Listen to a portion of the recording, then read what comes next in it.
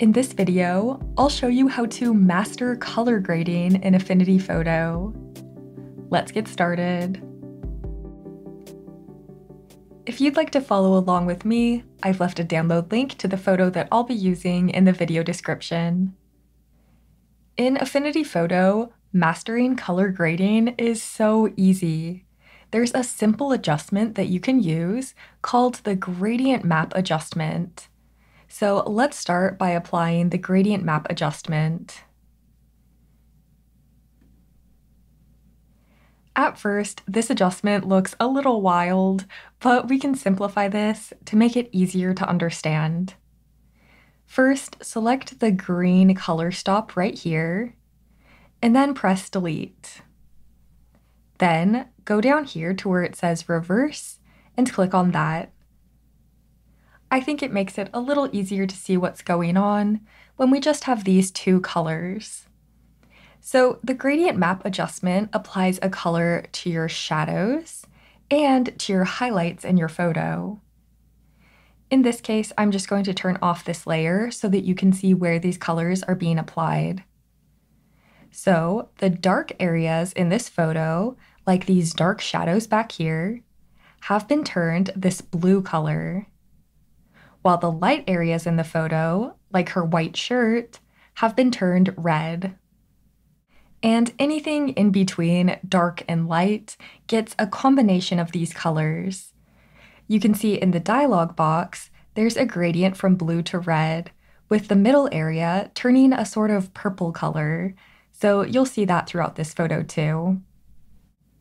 So we can actually change these colors to whatever we want. So let's start with a simple example. A very common color combination is blue shadows and orange highlights. So let's do that. Just click on a color stop to select it, then go down here to where it says color. Now we can adjust this color however we want. I'm just going to make this one darker. I'll click outside of this color box here, and then I'll select the other color stop. And I'll do the same thing, clicking on color and adjusting this to whatever we want. This color combination looks really cinematic and nice, but for this picture, I still want to see some of the original colors. So we can use blend modes to make this a more blended, subtle effect. Just go down here to blend modes, and my favorite blend mode for this is called Soft Light. And just like that, we've created beautiful color grading on this image. Here's the before and the after. And if you want, you can lower the opacity if you want to make this a little less intense. I think this looks really good. So that's just one color combination you could do. Let's do one other example. I'll turn off this layer, and then I'll apply another gradient map adjustment. Once again, I'm going to simplify this by deleting this middle point and reversing the colors. Even if it's not necessary, I like to simplify this adjustment each time so that it's easier to see what's going on in our picture. So this time I'm going to use the gradient map adjustment to create a black and white effect. So for the shadows, I'm going to change their color to black. And for the highlights, I'm going to change the color to white. At this point, this is just a black and white photo, but we can add a tint of color to the photo by adding a midpoint again. To do that, just double click on this line.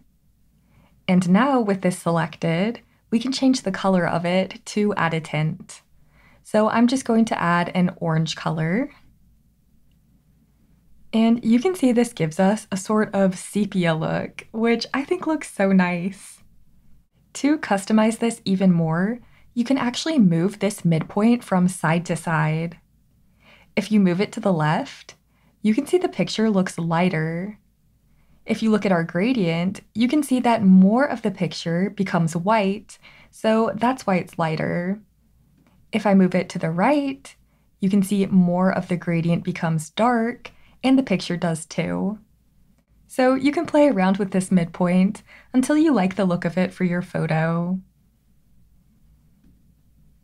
These are just a few ways to add beautiful color grading to your photos.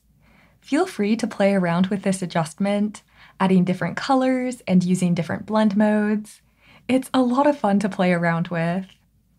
Thanks for watching, and I'll see you in the next Affinity Revolution tutorial.